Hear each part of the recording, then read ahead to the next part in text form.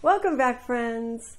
So here I am in my studio, and I decided to just do some random techniques on watercolor paper for today, and then possibly in the future, I don't know if we'll do the smoother side or the rougher side.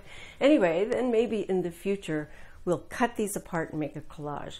I want to start doing more collage videos in the near future, so I need some materials other than pre-printed from magazines because I really don't like to work that way that much. So I would much rather just doodle and play on paper and then cut that apart and see what we can make later. I also want to mention, stick around towards the end. I'm going to give you a, another sneak peek at my talk painting in process. So, but um, there's no room in this corner for everything that I want to show you. So we're going to work in this corner and then I will set up the other easel and you'll be able to see what I'm working on. So stay tuned.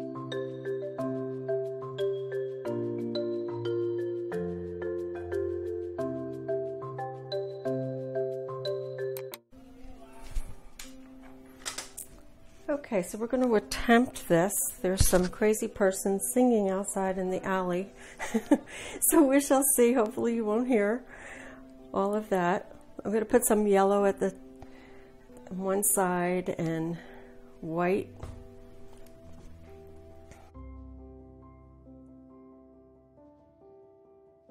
I'm just going to do like an undercoat because we're going to do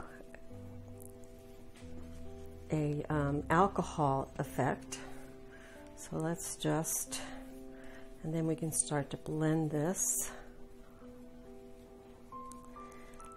And then we'll have white, or mostly white.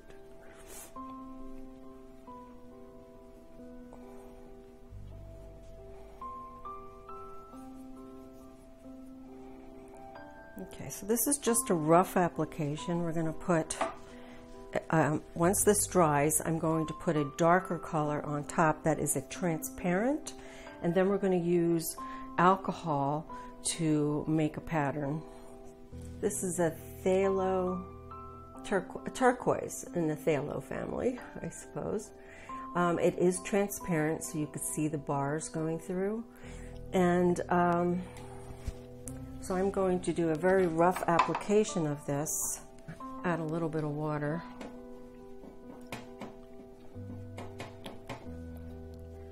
Going to go over the whole thing.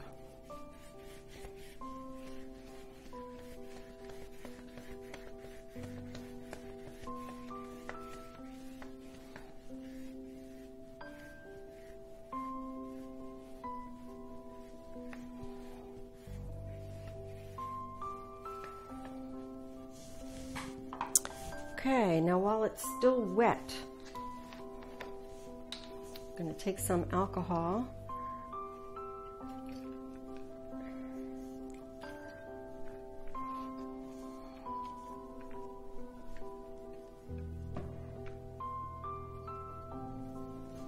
And there you go. So the alcohol, alcohol and acrylics, um, the alcohol kind of, uh, in this case, separates the acrylic um, but uh, you know, one of the ways, you know, in my fabric mosaic, one of the ways, if I make a mistake um, and I put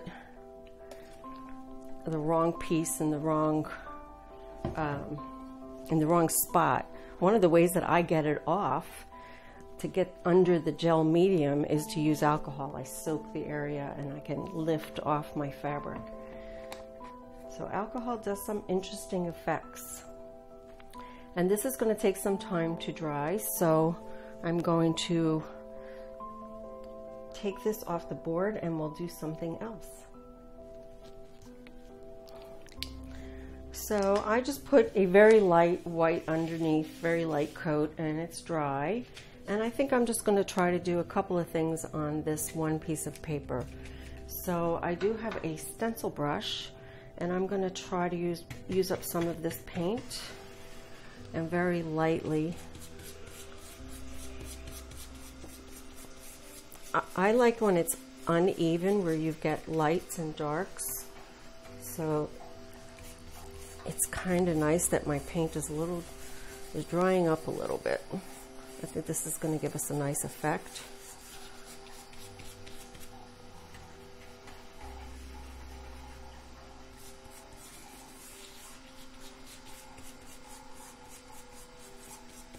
Sometimes I make my own stencils with my Cricut.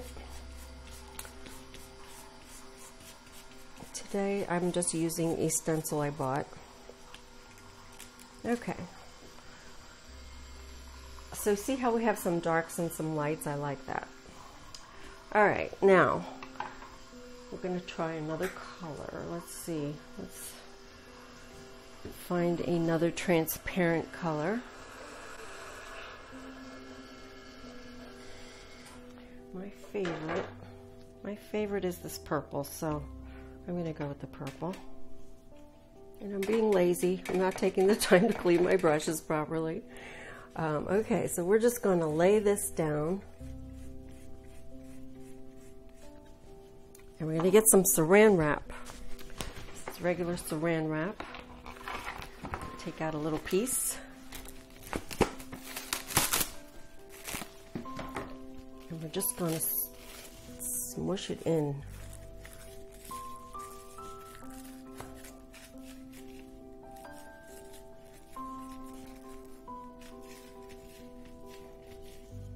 We're going to leave that to dry. All right, so now I'm using, this is a really nice bright green. It's a phthalo green, yellow shade.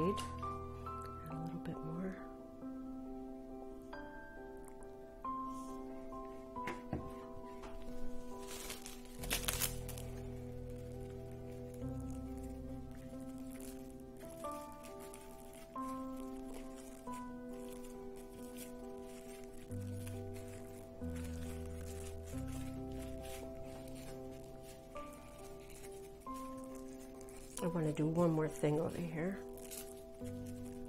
I'm going to do another alcohol one over here. So I really, I decided I really like this green. So let's see how that comes out against the white. And it's sort of a lighter green.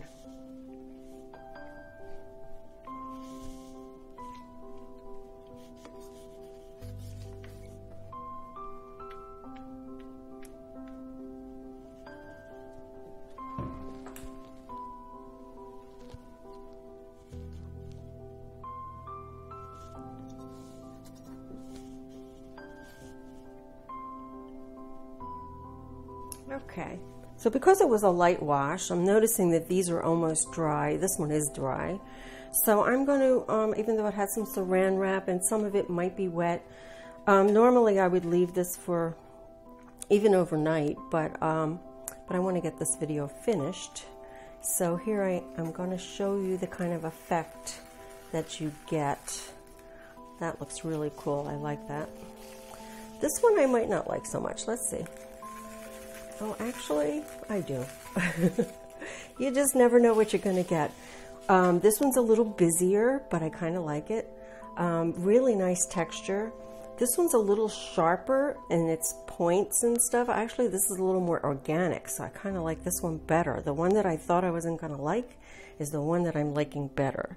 So you just never know. These kinds of, um, these are the, um, according to Bob Ross, happy accidents. that you just never know, and you can just play around on some inexpensive watercolor paper and get a little bit better with the techniques. And then let them dry, throw them in a drawer, and then when you're ready to do some collage, you have a bunch of um, different things. And um, I should have probably been a little bit more varied in my paint colors. Um, but I'm going to be doing more of these and more of these, and then eventually I will record a video where I do a collage with um, all of my little experiments. So I hope you enjoyed this today. This was um, just very simple little um, techniques that you can learn. Obviously, online you can get lots of nice uh, stencils. Um, and if you have a Cricut, you can make your own. And then, of course, alcohol. Can't beat that. And saran wrap. Like, wow. I really like that technique best. and it makes a good underpainting. I did the collage I did a few weeks ago started with an underpainting with saran wrap. But anyway, um, I'm very, very happy with this organic looking one, and I want to try to make more of these in different colors and see um, where I can use that. So I promised you a little sneak peek at my painting. This is how far I've gotten. Um, as you can see, this is what it's going to look like, and I do have um, these nice hot pink colors. Wait, let me get my, my fabric. Here's my fabric. If you saw the video last week, then you probably heard a little bit more about this.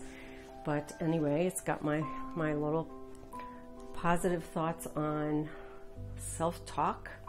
Um, and it's going to say talk at the top.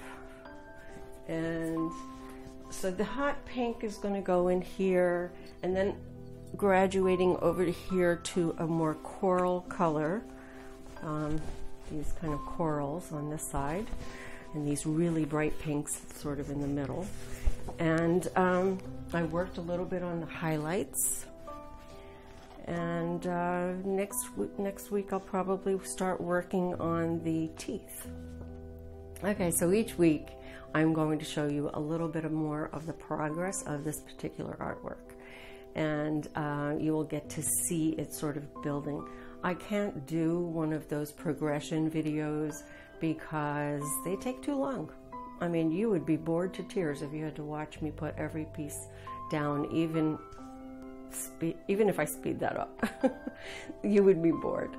So, um, but I'll talk about it each week, each week on my video, and you'll get to see a little further along each time. So, thanks for stopping by, and uh, please give me a thumbs up if you like this type of video, and see you again next time. Bye bye.